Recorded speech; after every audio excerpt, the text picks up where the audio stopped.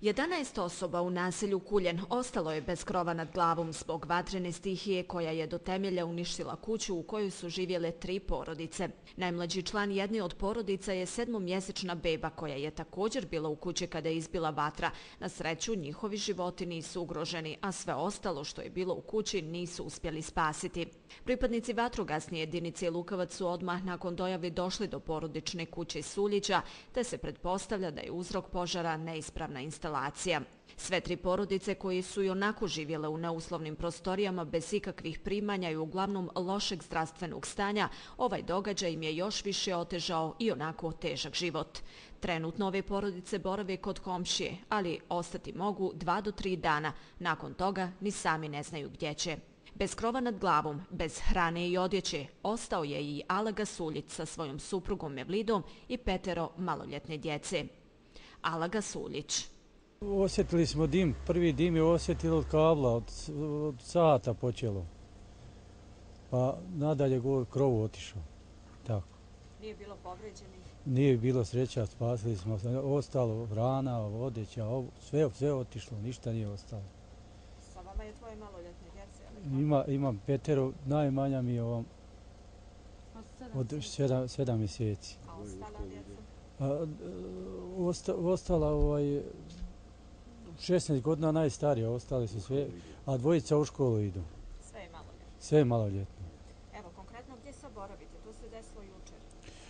Evo, sad boravimo na ulicu. Nemamo kud.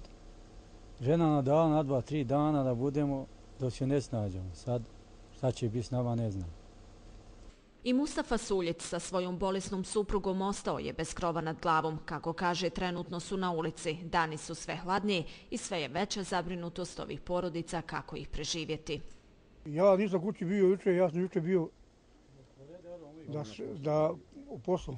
I međutim je zove, brat zove e, da, da je kuća počela goriti.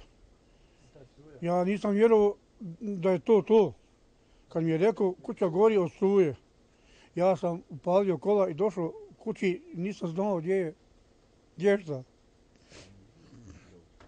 Meni je samo žao ove djeci. A mene nije mene žao. Samo mi je žao ove djeci, dok je su napolje. Meni ja. Porodice Suljeći se nadaju da će im u ovim teškim uslovima pomoći ljudi dobre volje, kao i nadležni organi, jer drugoga izlaza, kažu, nemaju. Alaga Suljić. Ako bismo analizirali u kakvom su stanju, mogu zaista reći da su u najlošijem materijalnom stanju. Mislim da nije vrijeme vrijeme da, da kukamo i da plačemo, ali je vrijeme da pružimo jednim drugima ruku, da bude malo solidarnosti i da pokušamo da nešto riješimo. Ja sam duboko uvijeđen, vjerujući u našu općinsku vlast, da će se nešto uraditi, da će se nešto pametno uraditi. Ako ništa drugo, kako smo već napisali na općinskom načelniku, napravit će se nešto da se ova porodica za sada zbrine bar preko zime.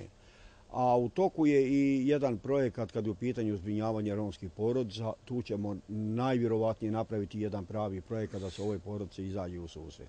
Ja se zaista vama zahvaljujem i ujedno i molim, dajmo da nešto uradimo da se ovoj kući pomogne. U nekadašnjoj kući Suljića ostali su samo pepeo, crni zidovi, izgorili stvari i dim vatre koji se još uvijek osjeti. Nakon 15 godina boravka u svojoj kući, tri porodice u naselju Kuljen za samo nekoliko minuta su ostale bez ičega. Svaka pomoć ovim porodicama je dobro došla od hrane, obuće i odjeće, te bilo kakvog stambenog objekta kako bi se porodice Suljići zbrinuli bar preko zime.